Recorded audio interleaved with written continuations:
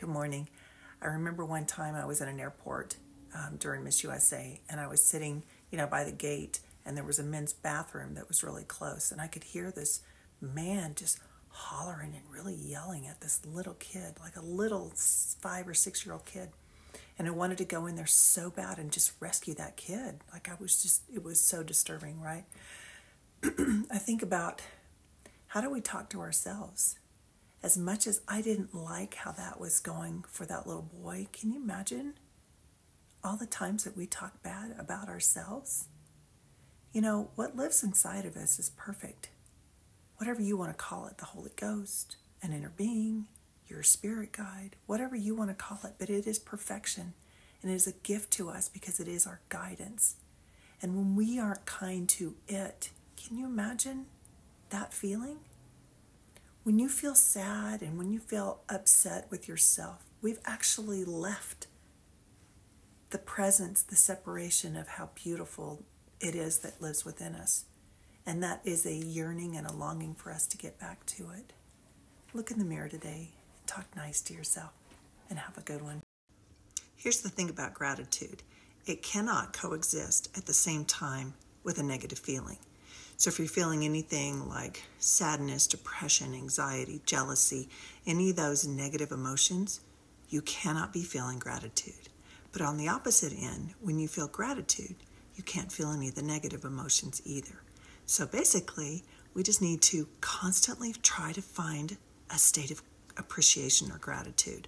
So when you do have those negative emotions that come to you, you can immediately try to think of something that you're thankful for, something that you're grateful for, so that you keep that energy with you instead. A few days has gone by since that video um, with the, when I went to see the, the, doctor, and I just got a call that um, there are some concerns with my bones and the calcium, and so um, go back in next week for some more labs, and then they're going to make a decision on what they need to do and why um, I'm getting these results from my labs of what's going on.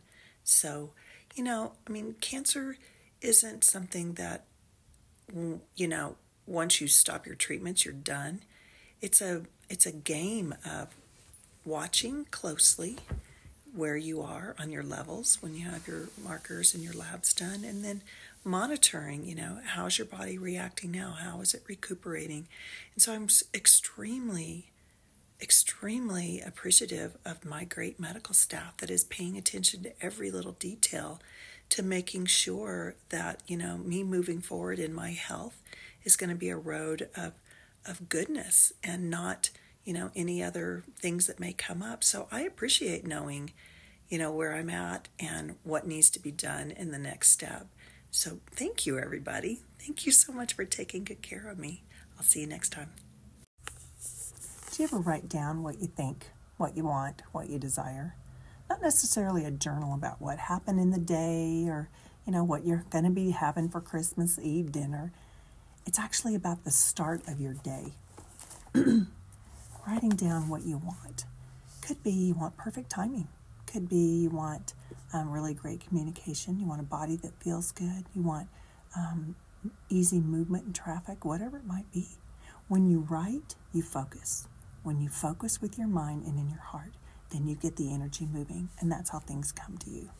Don't forget, write your feelings down. We did this exercise last week. Remember where I said place the hand in front of your face, close your eyes, feel it so close to you that you you can feel your breath ricocheting off of it and remind yourself that's how close everything is that you want, that we want, right?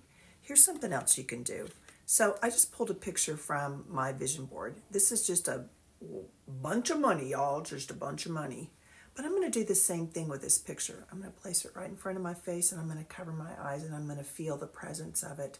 I'm going to feel it right in front of me and I'm going to say to myself, everything I want is within grasp.